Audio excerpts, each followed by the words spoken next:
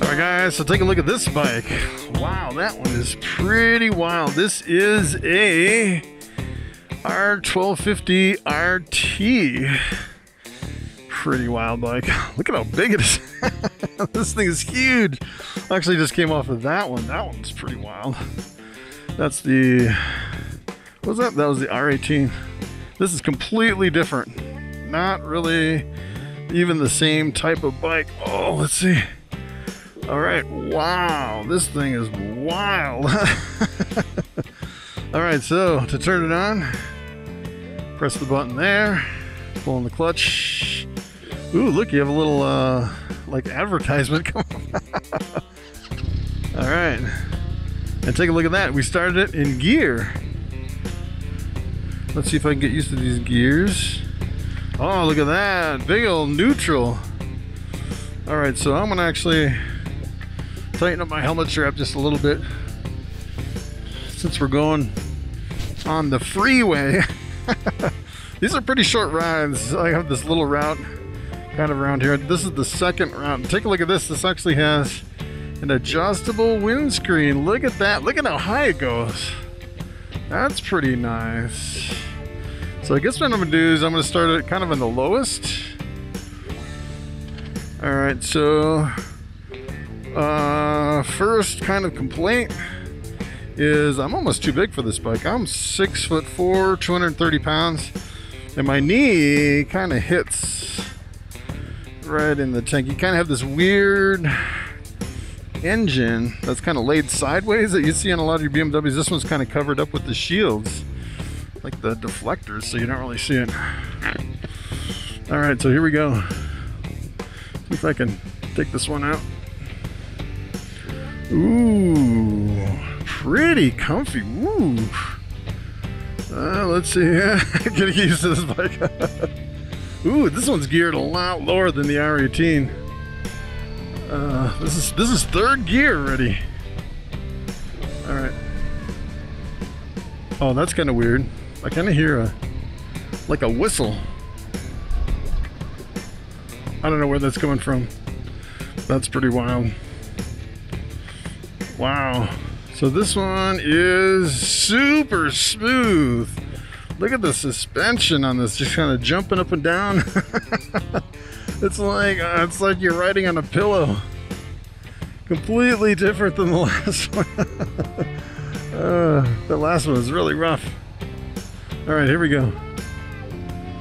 Uh, pretty big friction zone. Interesting sound to this one. All right, I'm gonna put the windscreen all the way up. Wow, that's weird. it's like it's like uh, I have a little a little like a little ring that I'm looking through, like a little U. It makes it like a little U, and I'm looking right through the U. Blocks a lot of the wind, almost all the wind, with it all the way up.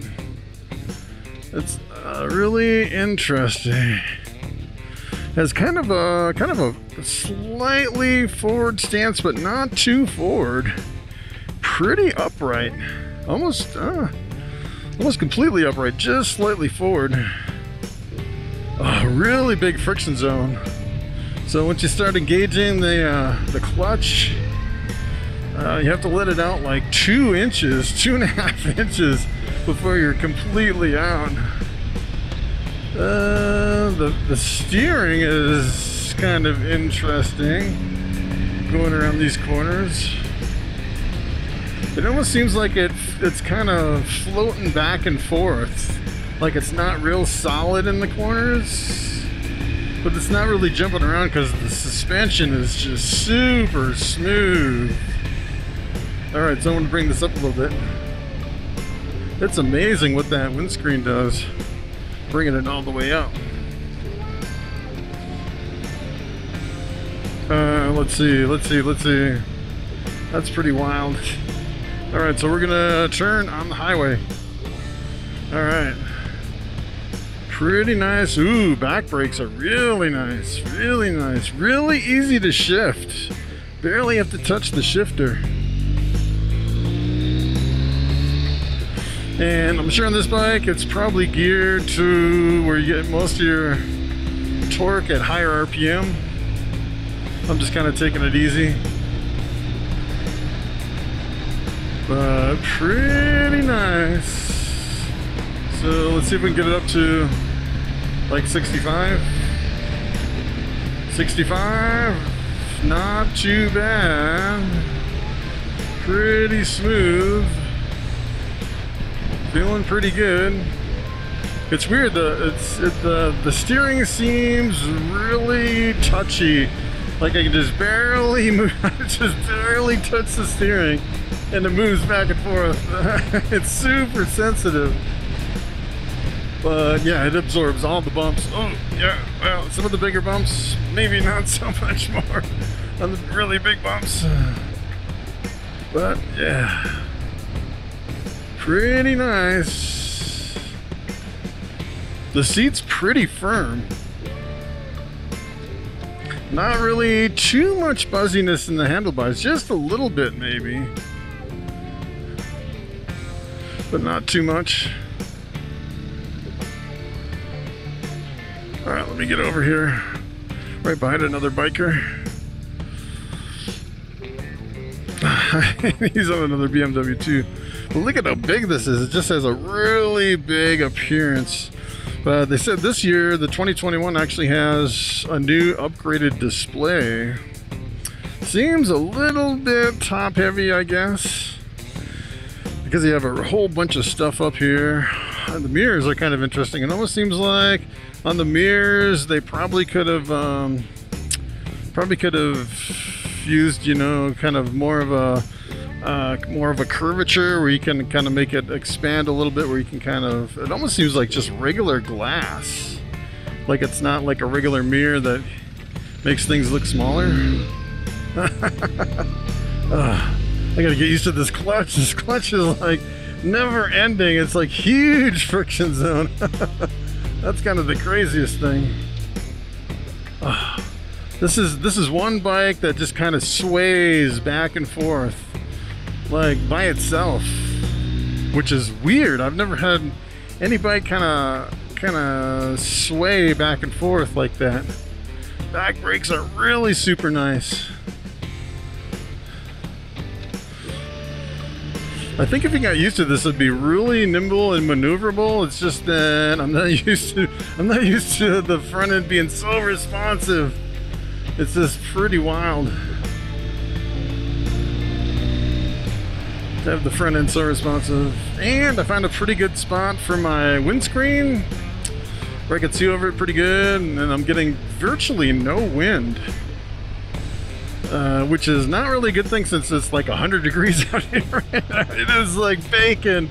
It is super hot today. Where it's, I don't know. I guess you could lower it down a little bit and Oh, this one's kind of nice because you have actually left and right indicators. On the last one I was on, it looked like uh, you almost had like the hazards on because you just have one, I could probably do this curve in second gear. These gears are geared so low. All right, let's see what this thing has. Pretty good, pretty good. Pretty peppy. It seems like there's not a lot of power at lower RPM like you'd see like on your cruisers like your Harley Davidsons. Almost seems like yeah, you can actually go all the way up to like 8,000, 9,000 RPM on this.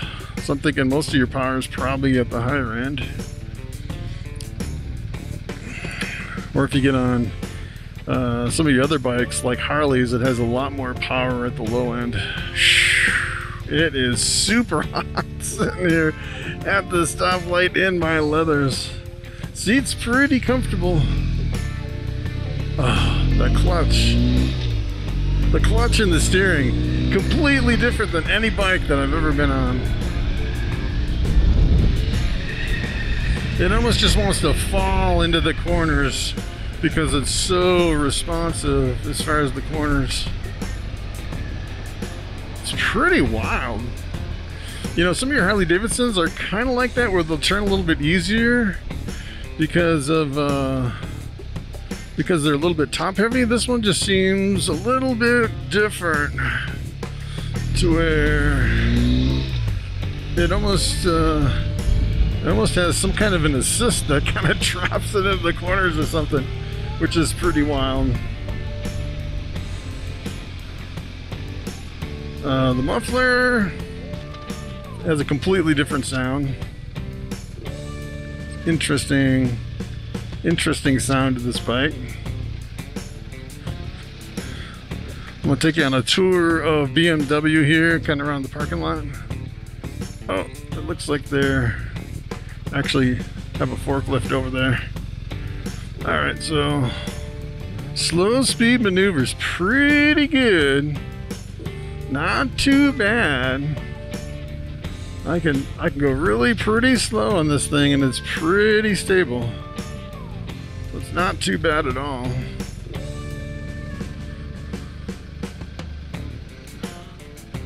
So let me back it up a little bit here. And then we'll park it right where it was. This is a pretty cool bike. Completely different than your Harley Davidson.